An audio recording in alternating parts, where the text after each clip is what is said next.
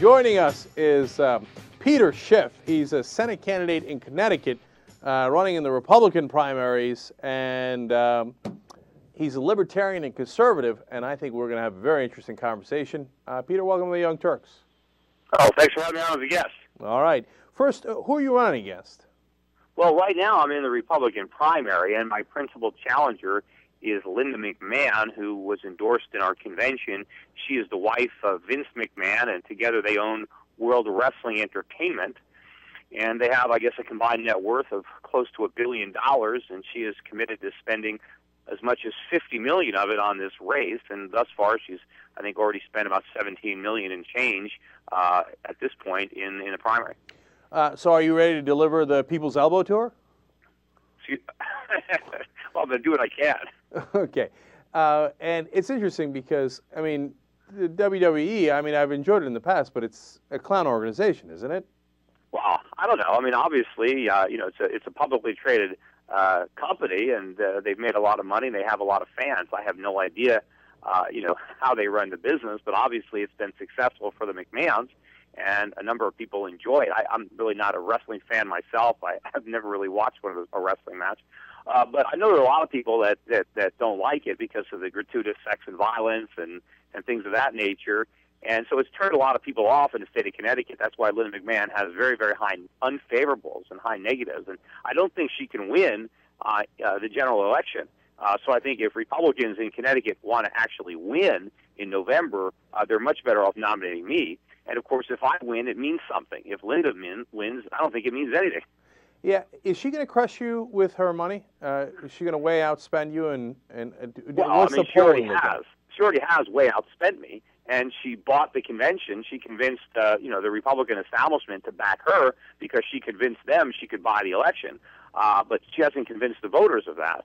Uh, but hopefully, you know, I've got a real grassroots campaign here in Connecticut. I've got all the Right. grassroots organizations, the Tea Parties behind me. So hopefully, the people uh, can can overcome the the party establishment, and despite her her, her millions, that I can uh, still prevail and get this Republican nomination and go ahead and, and win in November. All right, sounds good. So you're the underdog. I got that. So now let's get to the fun part. Uh, us disagreeing. Um, now you write in in some of your work here that uh, you're against government intervention through regulation, stimulus programs, and corporate bailouts. I'm with you on one out of three. I, I can't stand the corporate bailouts, uh, and I think you're right on that. But can you see how regulation and corporate bailouts are not the same thing, even though the government is doing both? That it might not be logical to lump them together just because the government is doing both. Well, you have to remember the reason that so many companies were broke and got bailed out was because government regulation created the problems. You know, it was government Totally wrong. regulation in the form of guaranteed mortgages from Freddie and Fannie that made uh, banks uh, lend money to people who couldn't pay it back because the government said, "Don't worry, we'll we'll we'll pay it back for them." And of course, it was the Federal Reserve that slashed interest rates down to one percent that made possible the teaser rate. They basically fueled the subprime market. So it was government interference, government government regulation that undermined the free market economy, that took away the restraints that the market imposed on excess lending and excess speculation, and it created the problem. You know, uh, Peter, I actually said while you were speaking you were totally wrong, but that's not fair. You, you're actually only about two thirds wrong. Uh, the third I agree with you on is the teaser rates and then the guaranteed mortgages, uh, and that's the government getting too involved, and, and then that encourages people to take more risk. So on that I agree with you, right? But on other stuff, I, I that's what, what happened, Peter, was that we deregulated. And so what we said to the companies is, look, before we had limited your leverage. Now we're not limiting your leverage, so you can take much greater risk. But But, we also, hold on, hold on, let me finish. We also took away Glass-Steagall that said, well, if you want to gamble, you can't gamble with people, the money that people put into your bank. Well, we took that away, saying, yes, you can gamble with that money. So they took people's money and they took enormous risks with it. And then on top of that, we deregulated derivatives, which are even more dangerous, and allowed that risk taking to happen. Yeah, let me here. Let me. We're agreeing partially. Let me. One thing is, see, they took away part of Glass-Steagall, but not all of it. You see, if they were going to repeal it, they had to repeal it all. The problem was they left government guaranteed bank accounts in check. That is the problem. Now, once the government guarantees bank accounts, I agree with you. We need to regulate what the banks do with that money because we remove the market regulation. You see, people put money into banks. They don't care what the banks do with the money. They don't care how much risk they take because the government guarantees the account. If they would have repealed that, if they would have took away deposit insurance, then the banks would have had to act a lot more responsibly because otherwise they would have lost their deposits. So the problem was we didn't deregulate enough. We left enough government regulation to screw everything up. I was against repealing the Glass-Steagall the way they did it. But the other part is, see, I was warning about this stuff in advance. I wrote a book in 2006 called Crash Proof, How to Profit for the Coming Economic Collapse. I was on television for years warning of the debacle coming in the mortgage market, uh, that Freddie and Fannie were going to go bankrupt, that the rating agent, the ratings on AAA debt was actually going to go to zero. I was talking about this huge collapse and that the way the government was going to try to solve the problems with stimulus and bailouts years before it happened. So I understood in real time the damage government regulation and subsidies was doing to our economy. And and you know the people who now blame the free market, these are the people that said no, the economy was in great shape, that there was nothing wrong.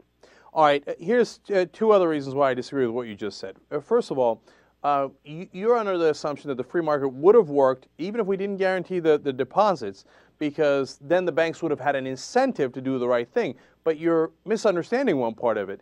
The banks, the owners of the banks don't run the banks. The executives run the banks, and the executives are not beholden to their shareholders.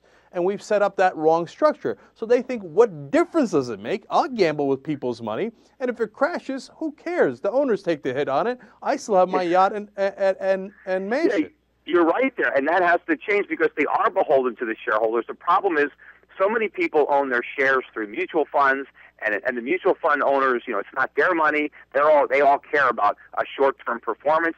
So I agree that, th- that there is a bad structure, and you know, hopefully, if we would have had a bigger market shakeout. But Peter, uh, Peter, let me interrupt that. you there for a second because see, we have the wrong structure. Wouldn't that be a, a perfect opportunity for the government to say, look, these are the rules that we have to play within, so we have a fair structure. For no, example, no, hold on, hold on. Let For the example, market, let the market do that. Let pe- let the market restructure because if the government does it, they're going to do it wrong. No, mean, no, they, no, they no. Don't That know. makes These no guys sense. in Washington have No. no clue. No, no, Peter, that makes no sense. It's like we're playing a basketball game and you say, uh, well, let Charles Oakley figure out how badly he's going to foul Michael Jordan and it'll all work out. No, you need refs. You need rules. And if you don't have rules and refs, the game's not going to work. It's not going to be fair.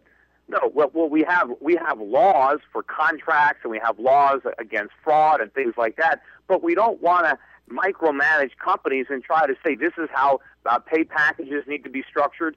We have to let shareholders vote with their feet. If shareholders don't like uh, Let the, me get the way management then. is operating, then then, then sell your shares. Then vote for different uh, directors. No, Sue the but Peter, directors if so- you think they made a mistake. Let's use the court system. But we that can't goes- have socialists in Washington micromanaging the economy. no, They're no, going no, to no. screw It's it not up. about micromanaging, Peter. That goes. Uh, let me get more specific with you, because that goes towards a perfect point. Now, there was a, a, a law introduced uh, by actually Maxine Waters initially to allow shareholders to have more control over who's on the boards and who the executives are. Right?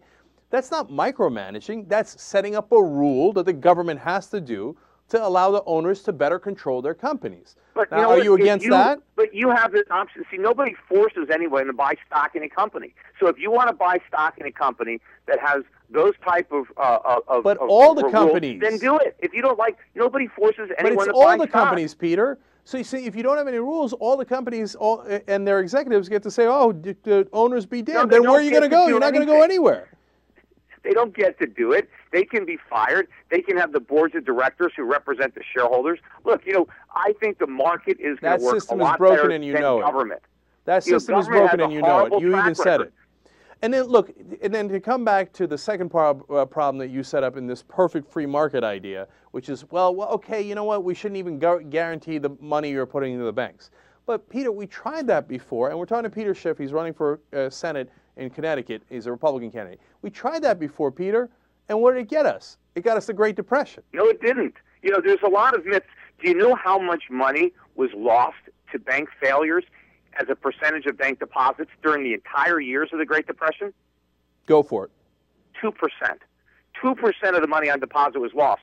You know how much we lose more than that every year to inflation that we didn't have back then because of all the money they have to print to try to prop up all these failed banks. We have a less solid banking system now than we did before the Depression. And there are other countries that don't have deposit insurance. Many countries don't, and they have sounder banking systems than we do. They have fewer bank failures than we do without bank insurance.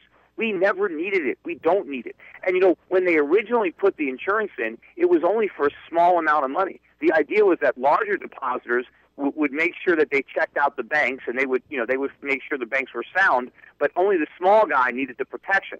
But now we insure all the deposits. We don't let anybody lose money. And the whole idea that you you can put your money in a bank and not worry about a thing, uh, that's a moral hazard because Peter. the banks are all competing on yield and they don't care how much risk they take. Uh, Peter, I, you know, two things you said there I don't think are factual at all. Now, you, you say the 2% was lost in the Great Depression, et cetera. So does that mean the Great Depression was a mirage, that it didn't no, no. happen? I No, of course it happened. We had total and utter bank collapse. No, no, I'm talking about how much bank deposits were lost due to failures. There was a Great Depression, but people's bank deposits weren't wiped out uh, across the country. You know, but the reason we had a Great Depression was guess, because Hoover and. Roosevelt interfered in the economy too No, much and that's- created no it. historian like agrees Bush and with that. Obama are, did. That doing. no, Herbert Hoover. The depression started under Herbert Hoover. It had nothing to. It's like blaming this recession on Obama when it started under Bush. It's revisionist No, I'm- history and I'm makes not- no sense. It, you're right. It did start under Bush. Obama's making it worse.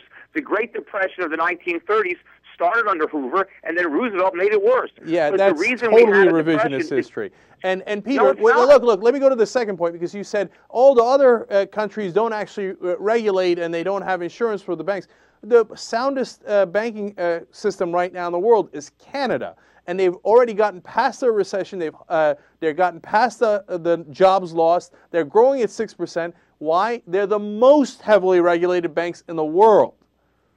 Well, there are other countries there that they have a lot less regulation. Look, I have money invested up in Canada. I think Canada is a better place to be right now than the U.S., Thank but you. not because they have a lot of regulations, because they're not deeply in debt like we are. They, they're, they're, they don't have the fiscal problems, and they have a lot of natural resources, and they have a trade surplus. So they're No, in better you- but shape. wait, it's not Peter, now you say more you're- regulation. you say you're less regulation, No, that's no. shape. Come on, now you're being disingenuous, Peter. No, I'm you- no, you say you're a financial expert. You don't know that the Canadian banks are heavily regulated No, and hence I very didn't say that sound. they weren't heavily regulated. I said that's not why their country is in sounder shape. You have to look at a cause and effect. You know, they would be in even better no, but their banks didn't crash.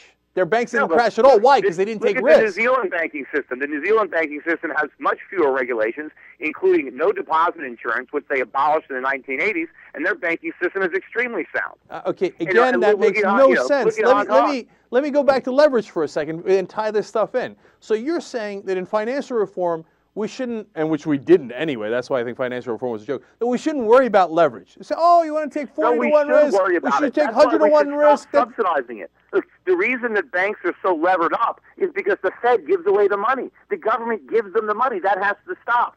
Well, the- I agree with that part. I said that from the beginning. I agree that we shouldn't give them the money in the first place, uh, but we certainly shouldn't allow them to do any. It, it- look, it goes back to the same analogy. You don't want.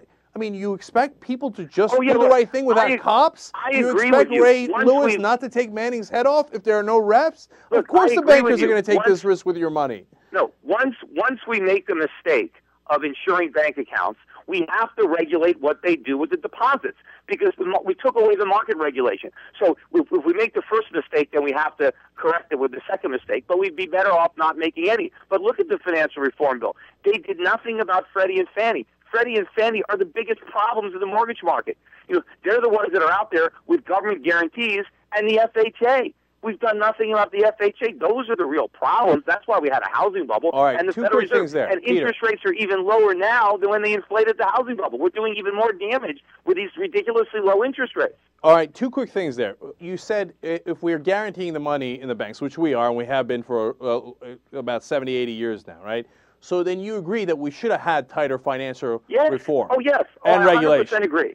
Okay, oh, you yeah, do I agree. agree. Okay, because good. we because the bank accounts were guaranteed and the government removed the free market regulation, then we need to substitute government regulation. Okay, My only so then is you the agree government that the- regulation isn't as effective. So then you agree that the Republicans were on the wrong side of that issue? Yes. Oh, yeah. I Okay, good. criticized the Republicans in real time. I'm not criticizing them after the fact. I was a big critic of the Republican Congress, of George Bush, for the things that they were doing that I knew were leading to our financial collapse. That's why I wrote my book when Bush was president. I saw this disaster coming because the Republicans and the Democrats had it wrong, and they right. still have it wrong. All right, and that, that part is true, by the way. In 2007, Peter wrote the book uh, Crash Proof, uh, and uh, he's running for Senate now, and his website is schiffforsenate.com. And my latest book, you got, you know, I wish you guys would probably get a big kick out of it, is how an economy grows and why it crashes.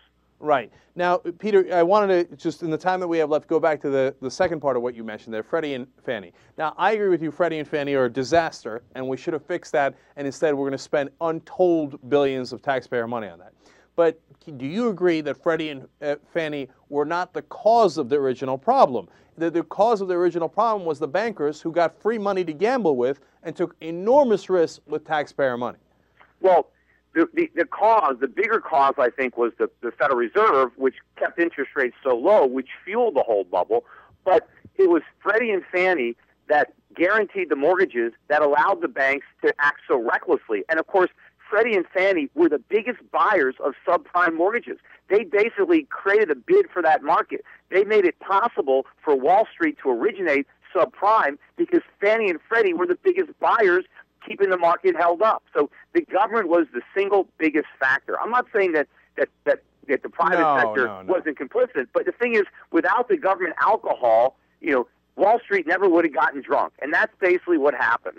No, no, and, and, you know Bush talked about how they got drunk, and he talked about the home ownership society, and he was so proud of that. But you criticized Bush for that. I did. But, I but, criticized but, that the whole and, time. And you and you, I agree with you that they should not have subsidized in that way, and, and they're still doing it, and I agree that they shouldn't be doing it. But look, in the end, what wound up happening, it wasn't because Freddie and Fannie, it was because the banks thought this is free money, and so they dumped their bad mortgages in Freddie and Fannie, and then they took their Of worst course, toxic assets and dumped it at the them? Fed. Who, who would blame them? That's the whole. Once if the government is going to buy your bad mortgages, you'd be an idiot not to sell. The problem was the government shouldn't have bought them. The Federal Reserve is sitting on over a trillion dollars worth of bad mortgages. That's our money. That's taxpayer money. So You know, we go that back- was a mistake. we should have let those banks choke on those bad mortgages. Peter, we Which, go you know, back because we have a minute left. We go back to the original thing that we started this with. I agree with you that we should not have done the corporate bailouts, and I agree with you that we shouldn't have those perverse incentives, the free, you know, the guaranteed mortgages, et cetera, right? But you've got to agree with me that the gov- government has to be the ref. That i it, given the situation, we should be doing more regulation, not less regulation. No, we should have smarter regulations, but less regulation. The regulations that we have, now look, I'm in the financial services business industry. I am dying. I have eight employees. I'm a small firm. I have eight compliance officers. I'm getting killed with regulations, and I know none of it is protecting my customers. It's all worthless, useless hoops, barriers that I have to jump over, and all it does is create barriers to entry. It helps the big firms that have the economies of scale get bigger and bigger by keeping their competitors out of the industry. You know, we are over-regulated. We have, yes, we do need a government regulation referee. There are some regulations that we do need, uh, and and I'm in favor of those. But we have far too many, and we have regulations that don't just keep a fair playing field; they actually distort it, and they cause a misallocation of resources, and they cause the financial disasters that we had in 2008, and the bigger one that's yet to come. The regulation is not what causes disasters. The subsidies and the incentive programs Well, are what su- cause it. subsidies are regulation. It's No. government interference. When the well, government if you split out w- subsidy. look, we're we're out of time. But if you, I keep telling you, I don't want the government to pervert the market, but at the same time, they've got to do regulation. And I know as a businessman, it adds cost to you, and you don't like it, but there's a real value in it. And No, it's not. there- We're no, not worried about you. We're worried And- about the it- big bankers who take advantage of that. Customers. It adds cost to my customers because that's who Oh has to pay come on! You, go, you're going to tell me Goldman Sachs was you're going to tell me that Goldman Sachs was worried about their customers? Come on! they were worried about their bonuses. Yeah, Goldman Sachs might not be, but I am. Okay, Goldman gotta- Sachs is worried about themselves, and thanks to the government, they're all rich. All right, we got to leave it right there. Peter Schiff, running for uh, Senate in Connecticut, and his website is schiffforsenate.com. Thanks for joining us, Peter. We appreciate it. Thanks for having me on.